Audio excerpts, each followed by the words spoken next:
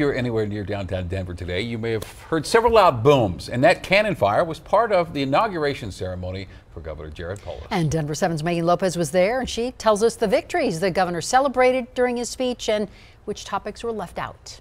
Raise your right hand.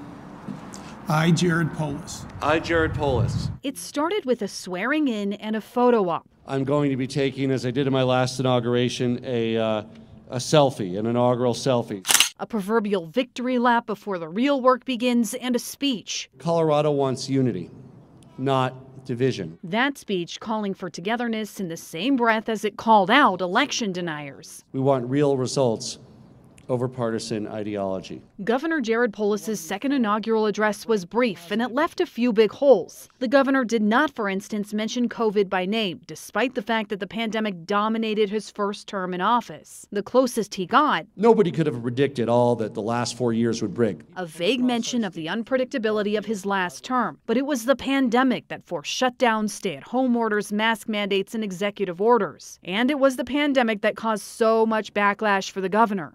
Instead, he and his supporters briefly highlighted their accomplishments. Free full day kindergarten and preschool starting this fall.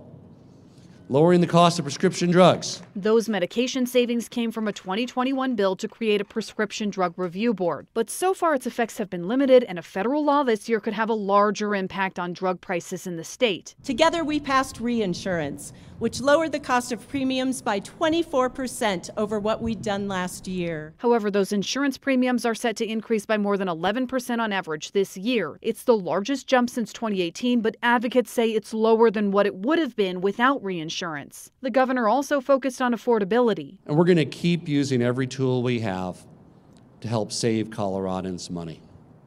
That means lower taxes, lower transportation costs. But in July, a new 2 cent per gallon gas fee is set to kick in. Still, for Governor Polis and the Democrats, this ceremony a final seal on their dominance over state politics. There's no time to waste, so our work begins now. Megan Lopez, Denver 7.